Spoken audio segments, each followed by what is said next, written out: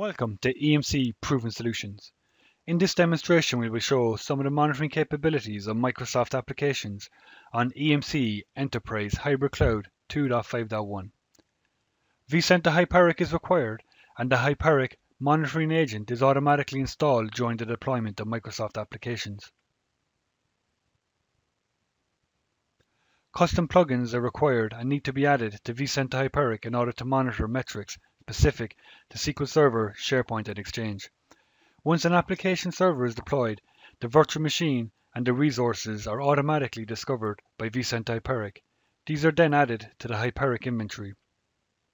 Here we can see a list of platforms currently discovered on vCenter Hyperic. We will select the platform which is SharePoint 2010 installed. We can view metrics specific to SharePoint 2010 which are enabled by default. Additional metrics for Microsoft SQL Server, SharePoint and Exchange can be enabled from vCenter Hyperic and then managed from vCenter Operations Manager.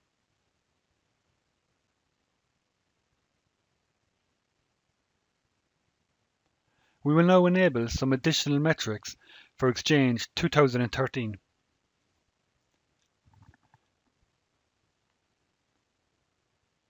We will select the required metrics and then select Submit. These new metrics are now enabled and can now be managed on vCenter Operations Manager. All Microsoft application metrics are monitored from vCenter Operations Manager.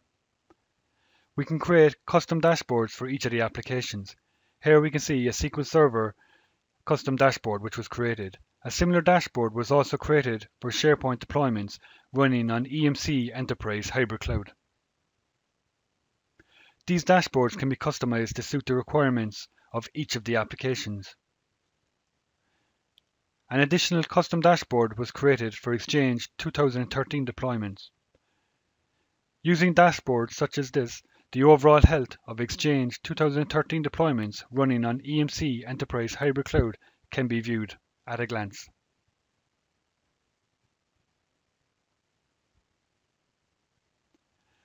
From the Environments Overview page, we can also view the overall health of Microsoft SQL Server, SharePoint and Exchange applications by navigating to the Resource Kind tab.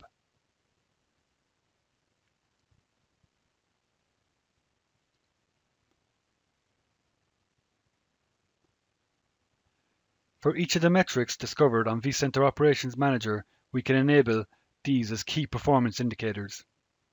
This is done using attribute packages.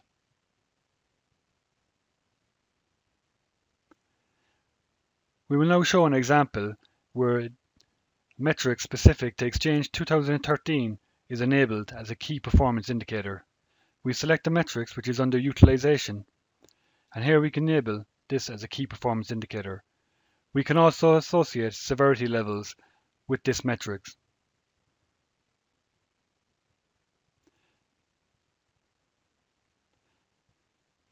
From the Alerts Overview page, we can view alerts which may have triggered from Microsoft SQL Server, SharePoint and Exchange. We can navigate to the resource kind and view the metrics specific for each of the applications, and then drill down and view the summary of each of the alert which may have triggered. These alerts can also be configured to send email notification